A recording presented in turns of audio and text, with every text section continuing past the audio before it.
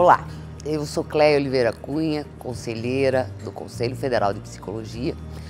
E nesse momento a gente está conversando com vocês, vários dos nossos colegas, no sentido de promover a nossa psicologia.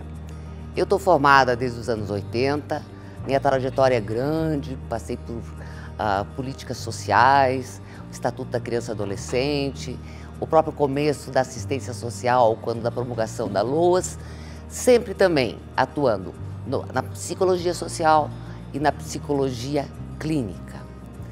O grande momento hoje é promover, promover essa nossa ação.